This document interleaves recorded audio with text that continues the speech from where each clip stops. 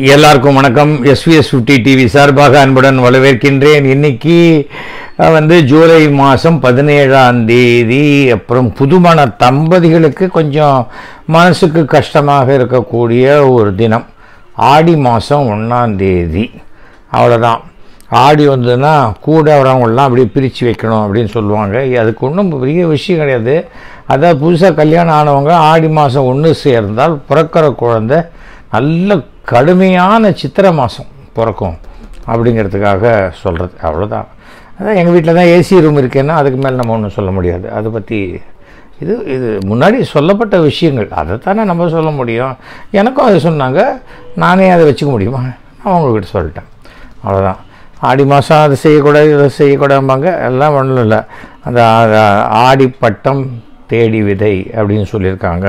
ஆடி பெருக்கில் அன்னைக்கு எந்த விஷயம் செய்தாலும் எந்த தொழில் ஆரம்பித்தாலும் மிக சிறப்பாக போகும் சொல்லியிருக்காங்க அதனால் எதுவுமே இந்த கெட்ட மாதம் அதெல்லாம் ஒன்றுமே கிடையாது. நம்ம மனசு தான். கடவுள் நம்பிக்கையோடு இருங்க. எல்லா நாளும் சிறந்த நாள் தான். ஓகே இன்றைக்கி வந்து இனிய உறவு பூத்தது. இதுதான் அந்த திரைப்பயணம். இந்த திரைப்பயணத்தில் இனிய உறவு பூத்தது. இது இது வந்து ரொம்ப வருஷம் கழித்து டைரக்டர் ஸ்ரீதர் டைரக்ட் பண்ண படம்.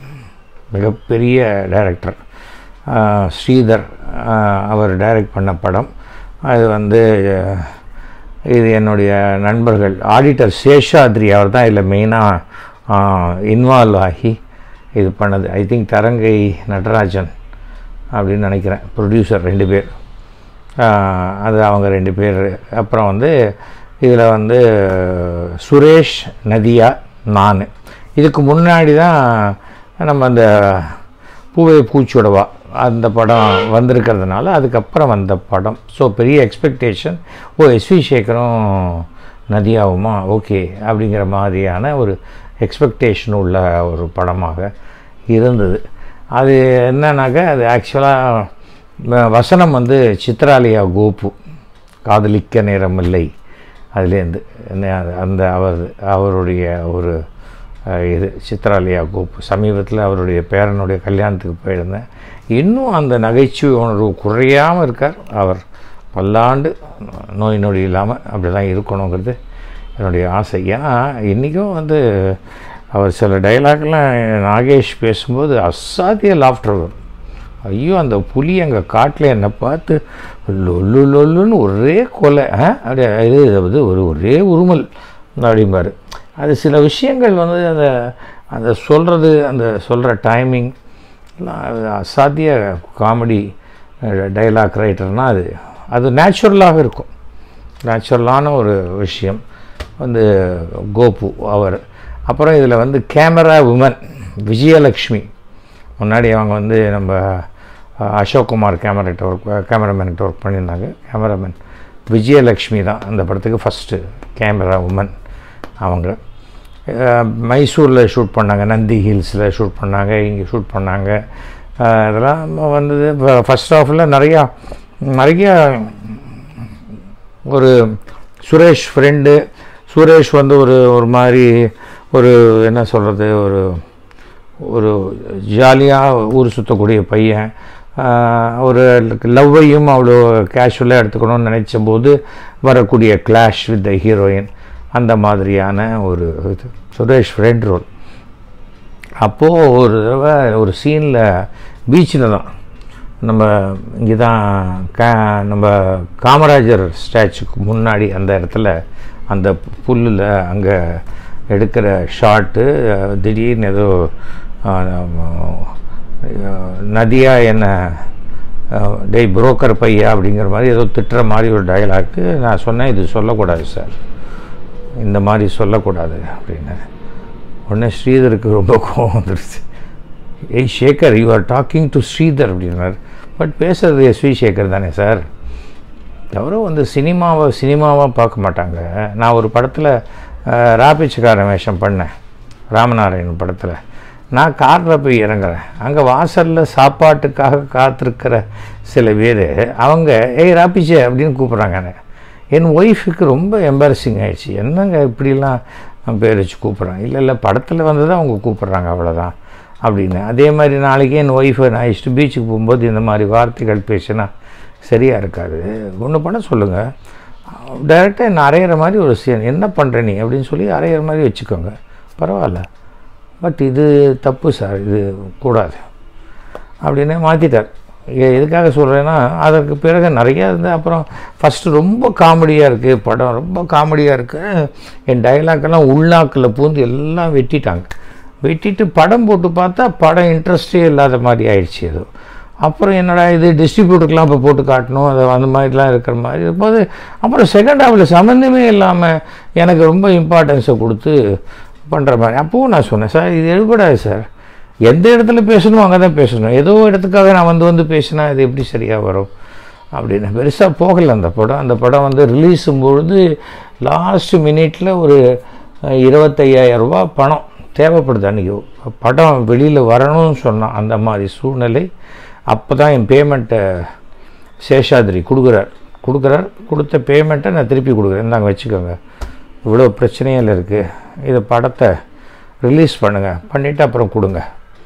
அப்படின்னு. நான் என் பங்கு செஞ்சுட்டேன். அப்புறம் அது வரலன்னு வச்சுக்கோங்க அது வேறு விஷயம். பட் நம்மளால் முடிஞ்சது உதவியை அன்றைக்கி இல்லாட்டா அது அந்த படம் ரிலீஸுக்கே எவ்வளோ ஒரு பிரச்சனையாகி வந்த படம். அதாவது மிகப்பெரிய டைரக்டர் படம் அது இதுன்னு எது சொன்னாலும் அதையும் தாண்டி ஒரு சினிமாவில் வந்து வெளியில் வரும்போது இந்த ஃபினான்ஷியலாக எந்த பிரச்சனையும் இருக்கக்கூடாது. அந்த மாதிரி இருந்துருச்சுன்னு வச்சுக்கோங்களேன் அது ரொம்ப அதுலேருந்து வர்றது ரொம்ப கஷ்டமாயிடும். அதான் சொல்லுவாங்க லேபில் ஜமக்கடை விரிக்கிறாங்க ஜமக்கடை அதாவது ஏதாவது ஒருத்தர் நீ குறைச்சி குறைச்சிக்கப்பா நீ கொஞ்சம் குறைச்சிக்கப்பா உன்னுடைய பணத்தை கொஞ்சம் குறைச்சி வாங்கிக்கப்பா அப்படின்னு சொல்லி எல்லா சில பேர் வந்து இந்த பஞ்சாயத்து பண்ணை வந்து ரா முழுக்க பேசுவாங்க. கார்த்தால் படம் ரிலீஸ் ஆகணும் அதுக்குள்ளே பொட்டி போகணும் அங்கே டிஸ்ட்ரிபியூட்டர்ஸ் வெயிட் பண்ணுவாங்க வண்டி ஏன்னா நான் சொல்கிறதுனா ரீல்ஸு இப்போ அப்படி கிடையாது. அங்கே ஒரே ஒரு இடத்துல அந்த கீ கொடுத்தா போதும். டக்குன்னு எல்லா இடத்துலையும் ஓப்பன் ஆகிடும் அதெல்லாம் ஒன்றுமே பிரச்சனை கிடையாது. இப்போ அந்த மாதிரி கிடையாது. அந்த கா அந்த காலகட்டத்தில் ரொம்ப பிரிண்ட்டு போகணும். பிரிண்ட் அவ்வளோ தூரம் போகணும். சில சின்ன ஊரில் வந்து ஒரு பிரிண்ட்டை வச்சு ரெண்டு தேட்டரில் ஓட்டுவாங்க. பதினஞ்சு நிமிஷம் கேப்பில் ஒரு ரெண்டு ரீல் ஓடும்பொழுது அப்போ அதை ஆரம்பிப்பாங்க. அதுக்குள்ளே சைக்கிளில் சரன்னு எடுத்துன்னு போவாங்க. இல்லை ஸ்கூட்டரில் எடுத்துன்னு போயிட்டு அந்த ரெண்டு ரீல் போடுவாங்க. மாற்றி மாற்றி மாற்றி போயிட்டே இருக்கும். எங்கேயாவது கரண்ட்டு கட்டுக்குன்னா பிரச்சனை ஆகிடும் அது வரைக்கும் ஒன்றும் ப்ராப்ளம் இல்லாத இருக்கும். அதெல்லாம் வந்து சினிமாங்கிறது வந்து இன்றைக்கி மிக பிரம்மாண்டமாக இருந்தால் கூட ஆனால் வந்து இந்த மாதிரியான காலகட்டங்கள்லாம் தாண்டி தான் வந்திருக்கு. இவ்வளோ கஷ்டமான காலகட்டத்தில் எவ்வளோ மிகச்சிறந்த படங்கள் எடுத்திருக்காங்கங்கிறது இன்றைக்கி வந்து ஒன்றுமே இல்லாத பிரம்மாண்டத்தை மாத்திரம் நம்பி எடுத்து ரொம்ப என்னடா ஒன்றுமே இல்லை எல்லாமே கிராஃபிக்ஸ் பண்ணுதுன்னா அப்புறம் என்னது இவங்க அப்படிங்கிற மாதிரியான சூழ்நிலை வந்துடுச்சு. இன்றைக்கி வந்து முன்ன படம் நல்லா இருக்குது நல்லா இருக்கா போய் பாரு. நல்லா இருக்கா போய் பாரு. சொல்லி சொல்லி சொல்லி சொல்லி நூறு நாள் ஓட சில்வர் பிடி போடும். இப்போ படம் எப்படி இருக்குது அப்படின்னு தெரியறதுக்குள்ளே ஓட்டிட்டு கலெக்ஷன் எடுக்கிறோம். அந்த மாதிரியான சூழ்நிலை இப்போ இருக்கிற பிஸ்னஸ் இருக்குது எல்லாமே சினிமா தான். பட் இந்த இனிய உறவு பூத்தது. அது வந்து டைரக்டர் ஸ்ரீதருடைய படம். அப்போல்லாம் ஸ்ரீதர் படம் நடிக்கணும். ஸ்ரீதர் படம். பாலச்சந்தர் சார் படம் நடிக்கணும். ஸ்ரீதர் சார் படம் நடிக்கணும். அது பெரிய ஒரு அப்படியே தவமாக நினச்சிருக்கிறவங்களாம் எவ்வளோ பேர் இருக்காங்க. எனக்கு சினிமா ஒரு தொழில் அவ்வளோதான் அதுக்கு மேலே ஒன்றும் பெருசாக கிடையாது. வச்சுக்கோங்க இளையராஜா மியூசிக் ஆஸ் யூஷுவல் இதில் அந்த மாதிரி இருக்கிறதுனால இது வந்து ஒரு வித்தியாசமான ஒரு அனுபவம். இதில் நதியாவும் நானும் பேருன்னு முதல்ல நினச்சாங்க. அப்புறம் தேட்டருக்குள்ளே வந்து பார்த்தப்போ தான் தெரிஞ்சது. அவங்க ரெண்டு பேரும் பேரு. நான் ஃப்ரெண்டுன்னு பட் அதெல்லாம் சின்ன சின்ன ஏமாற்றத்தை ரசிகர்களுக்கு கொடுத்தது. பட் அதுக்கெல்லாம் நம்ம என்ன பண்ண முடியும்? ஓகே அடுத்தது வந்து ஜோக்ஸ் பார்க்கலாமா? நம்பிக்கை வாக்கெடுப்பு தெரியும். அது என்ன தன்னம்பிக்கை வாக்கெடுப்பு? எத்தனை எம்பிக்கள் கட்சி தாவாமல் தன்னம்பிக்கையோடு இருக்க போகிறாங்கன்னு பார்க்கறதுக்காக ஒரு ஓட்டெடுப்பு. ஓ புதூர் பாலா. என்னது? ஆளுநர் பதவியை இல்லாமல் ஆக்க போகிறாங்களா ஆமாய்யா ஆளுநர் பதவியை குறி வச்சு எல்லாரும் தேர்தலில் தோத்துட்டா மேலிடம் கடுப்பாகாமல் இருக்குமா? அதான் கடுப்பாயிட்டாங்க. எம். கல்லூரி ராமன் யாரை சொல்கிறாங்கன்னே தெரியலையே. அந்த டாக்டர் கொடுத்த மருந்தை சாப்பிட்டதுலேருந்து ஒரே அஜீரண பிரச்சனையாக இருக்குது அதுக்காக அவர் மேலே செரிமான நஷ்ட வழக்கு போடணும் அப்படின்னு அடம் பிடிக்கிறதெல்லாம் கொஞ்சம் ஓவராக தான் அங்கே இருக்குது அருண் பிரகாஷ். வருமானத்துக்கு அதிகமாக எப்படி சொத்து சேர்த்தீங்க? அது பற்றி ஒரு புஸ்தகம் எழுதியிருக்கேன். யுவர் ஆனர் ஒரு முந்நூறுரூவா கொடுத்து வாங்கி படிங்க. உங்களுக்கே புரியும். கிணத்து கடவு ரவி. ஓ ஜட்ஜையே காசு கொடுத்து வாங்க சொல்கிறார் நல்ல விஷயந்தான் அதாவது இந்த ஜோக்ஸ் வந்து ப்ரெசன்ட் டே மேட்ரை வச்சு எழுதும்போது அது இன்னும் பளிச்சுன்னு எடுபடும். அடுத்தது மகா பெரியவர். மகா பெரியவர்கிட்ட ரொம்ப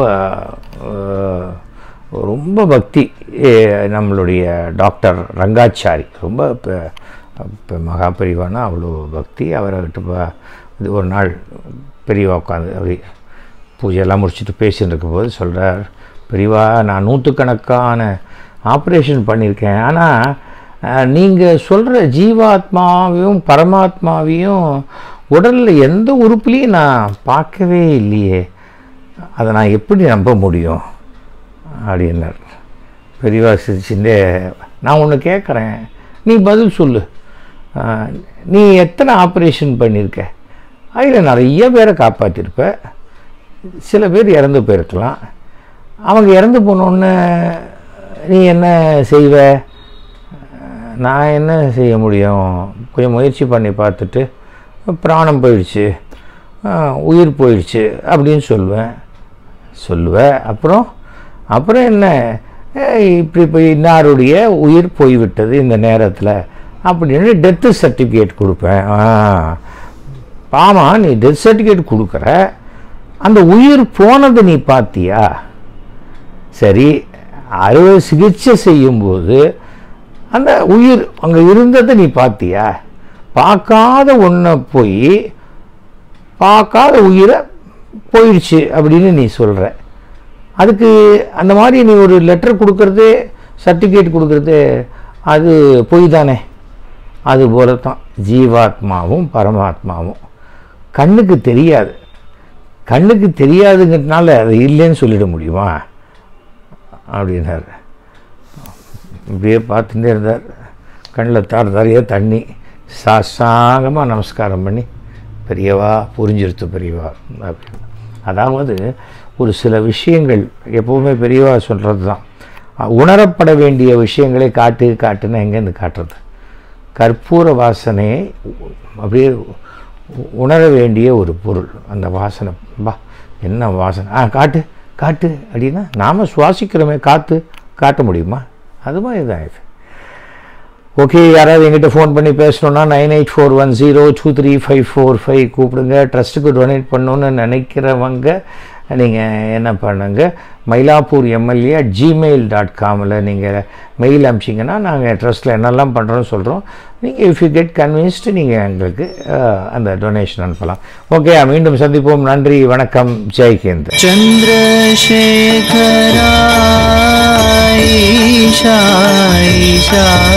சுந்தரேஸ்வரா.